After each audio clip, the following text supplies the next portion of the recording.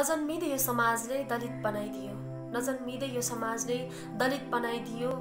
विद्यालय समाज सबै फरक बनाइदियो।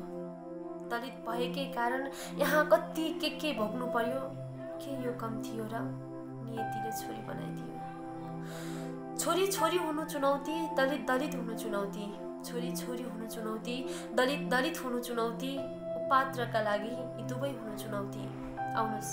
म तपाईँहरूलाई आज यस्तो पात्रसँग भेटाउन गइरहेको छु। म पनि सानोमा दुर्व्यवहारमा परेको थिएँ।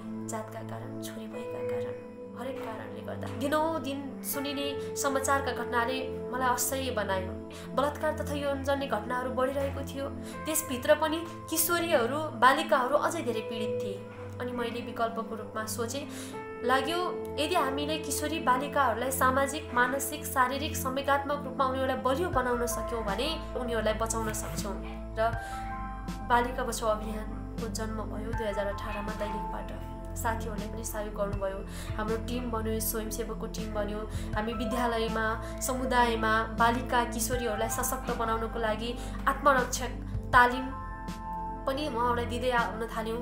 यो बिचमा चार हजार किशोरीहरूलाई आत्मरक्षा तालिम दिइसके पश्चात केही परिवर्तन भएको महसुस त भयो तर यस्ता घटनाहरू धेरै ठाउँमा घटिरहेका थिए। दुर्भाग्यवश हामीले नसोचेको कोभिड नाइन्टिन अनि यसको प्रभाव जताततै परेको थियो। हामी सबै सीमित थियौँ। लकडाउनको एक्काइस दिनको पिरियडमा छयासीवटा बलात्कार र बहत्तरवटा घरेलु हिंसाको समाचारले अर्को पीडा थप्यो। फेसबुक लाइभ तथा रेडियो ब्रोडकास्ट क्याम्पेन भनेर कर्णाली प्रदेशको नौवटा जिल्लाको स्थानीय रेडियोहरूको सहयोगमा हामी यो अभियान सञ्चालन गऱ्यौँ र विभिन्न विषयहरूमा विषय विज्ञहरूसँग छलफल गऱ्यौँ अन्तर्क्रिया गऱ्यौँ समाधान खोज्ने पाटो गऱ्यौँ मैले यो बिचमा यो छ वर्षको दौडानमा स्वयंसेवक रूपमा काम गरिरहँदा जुन किसिमको मैले आत्मसन्तुष्टि पाएको छु त्यसले गर्दा पनि भलै मैले यो अभियानमा हिँडिरहँदा मलाई पैसा नहोला तर मैले एउटा आत्मसन्तुष्टि पाएको छु आत्मसम्मान पाएको छु।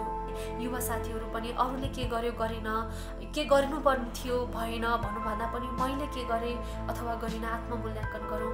आफूले सक्दो समुदाय परिवार र छरछिमेकबाट पनि सुरुवात गरौँ। परिवर्तन युवाबाटै सम्भव छ भन्दै म पनि बिदा हुन्छु। धन्यवाद। नमस्ते।